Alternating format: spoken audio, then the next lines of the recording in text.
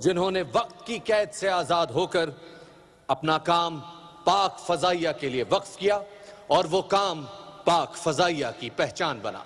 اپنی آواز کے جادو سے انہوں نے کئی نسلوں کے دلوں میں وطن کی محبت کا بیج بویا ہے۔ گیارہ اگست انیس سو پچپن کو جنم ہوا ایک ایسی آواز کا جس نے آنے والے دنوں میں کروڑوں دلوں پر راج کرنا تھا۔ یہ آواز ہے عالمگیر حق کی۔ مشرقی پاکستان میں پیدا ہونے والے عالمگیر حق کو اوائل عمری سے ہی گانے کا جنون تھا اور یہی جنون انہیں انیس سو اکہتر میں شہر قائد لے آیا۔ زندگی کی گاڑی کو رواں دواں رکھنے کے لیے انہوں نے تارق روڈ پر واقع ایک ہوٹل میں گانا شروع کر دیا اور ان کی سچی لگن اور مدھر آواز نے جلد ہی اپنے قدردان ڈھونڈ لیا۔ کچھ ہی عرصے میں پاکستان ٹیلی ویژن کارپوریشن کے ایک پروگرام کے آڈیشن کے لیے انہیں بلایا گیا، جہاں مشہور موسیقار سہیل رانا نے بطور گٹارسٹ اپنے پروگرام کے لیے منتخب کیا۔ کچھ ہی عرصے بعد ان کا پہلا گانا البیلا راہی منظر عام پر آیا، جس نے انہیں راتوں رات شہرت کی بلندیوں پر پہنچا دیا۔ ان کے فن گلوکاری کے اعتراف میں انہیں کئی اعزازات سے بھی نوازا گیا، جن میں نگار ایوارڈ اور صدارتی اعزاز برائے حسن کارکردگی خصوصاً قابل ذکر ہیں۔ عالمگیر کو پاک فضائیہ سے بھی خاص لگاؤ ہے، جس کے اظہار میں انہوں نے انیس سو نوے میں پاک فضائیہ کے لیے مجاہدین افلاق کے ٹائٹل سے ایک ملی نغمہ تخلیق کیا۔ انہوں نے نہ صرف اس ترانے کی موسیقی بلا معاوضہ ترتیب دی، بلکہ اپنے پرجوش گائکی سے اس کے بول زندہ کر دیے۔ خوبصورت شاعری اور عالمگیر کی خوبصورت آواز سے تخلیق کردہ اس نغمے کو تین اشرے بیتنے کو ہیں۔ مگر اس کے بول آج بھی ہر پیر و جوان میں ایک نیا جذبہ بیدار کر رہے ہیں۔ عالمگیر کی بے لوس خدمات اور اس ادارے سے والہانہ عقیدت کے اعتراف میں پاک فضائیہ انہیں سلام پیش کرتی ہے۔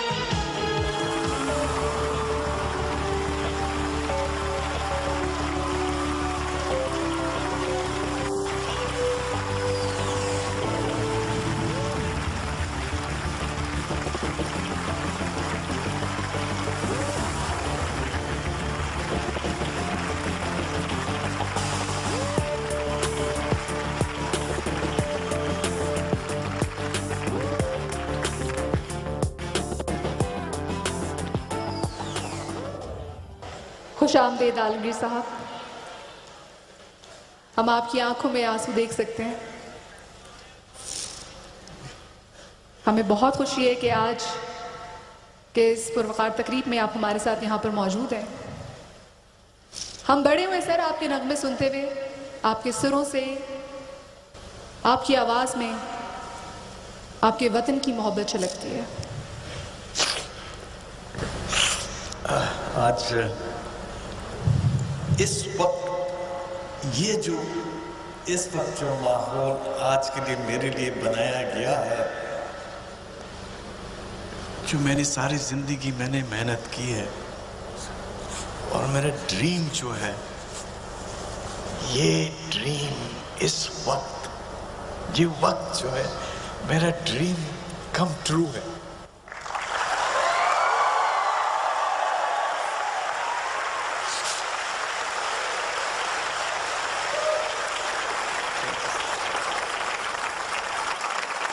سر آپ کا گایا ہوا ایک نغمہ تم ہی سے ہے مجاہدو میں نے دیکھا اس نغمے کو سنتے ہوئے کیفیات بدل جاتی ہیں۔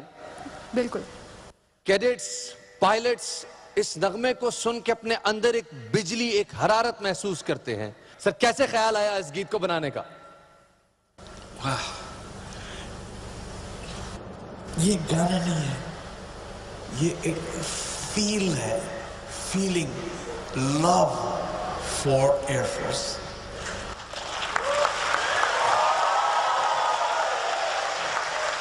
اور یہ کس طرح یہ بنا ہے such a pretty such a beautiful story میں اپنا ٹور پہ نائنٹیز میں I was touring the whole world میں کہاں سے کہاں پتہ نہیں کہاں جا رہا ہوں تو ساؤتھ افریقہ سے میں امریکہ پہنچا، وہاں میرے لاس اینجلس میں میرا شو تھا۔ تو اس وقت، اسی دن I receive a call and a very surprising call from then at that time air chief صاحب حکیم اللہ صاحب ان کا فون آیا تو مجھے کہتے ہیں ہیلو عالمگیر بول رہے جی جی سر کہتے ہیں عالمگیر، دیکھو، میں نیکسٹ ایئر میں ریٹائر ہو رہا ہوں۔ تو جانے سے پہلے میں ایک نشانی چھوڑ کے جانا چاہتا ہوں۔ تو عالم کے پلیز ایئر فورس کے لیے ایک نغمہ بنا دو گے۔ تو آئی واز اوور ویلڈ اتنا خوش ہوا تھا میں۔ تو میں بھی سوچنے لگا کہ انہوں نے جب کہا کہ نشانی چھوڑ کے جانا چاہنا چاہنا چاہتا ہے، تو میرے لیے ایک چیلنج بن گیا تھا کہ میں ایسے ویسے تھوڑی بنا سکتا کوئی۔ مجھے بھی اس جان لگا کے بنانا ہے کوئی چیز جو واقعی نشانی بنے۔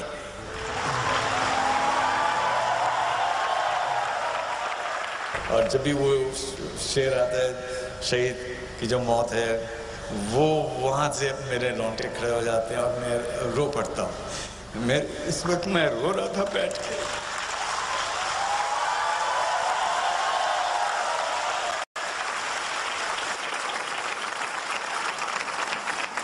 جب یہ بنا کے، گانا بنا کے جو میں خوش ہوا ہوں کہ آپ لوگوں میں یہ جو میں سرو کر سکا۔ اس سے بڑا کوئی اوارڈ ہوتا نہیں ہے۔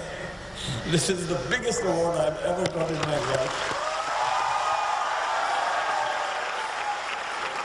ہمارے جوان جو یہاں پر موجود ہیں ان کے لیے ہم آپ سے میسج لینا چاہیں گے لیکن اس میسج کے لیے آپ کو گنگنانا پڑے گا۔ اپنے گیت کے تھرو اپنے میسج دیں گے ماؤ کی دعا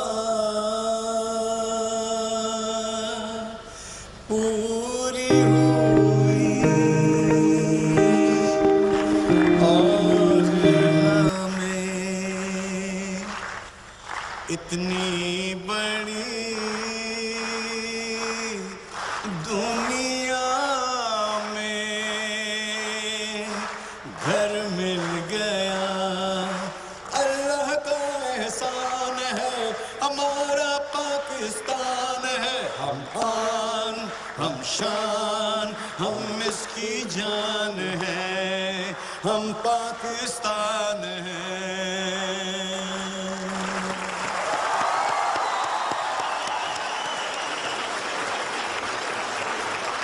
میں دعوت دینا چاہوں گا، لائف ٹائم اچیومنٹ اوارڈ پیش کرنے کے لیے سربراہ پاک فضائیہ، air chief marshal Mujahid Anwar Khan, نشان امتیاز ملٹری کو کہ وہ سٹیج پر تشریف لائیں اور اپنے ہاتھوں سے عالمگیر حق صاحب کو لائف ٹائم اچیومنٹ اوارڈ پیش کریں۔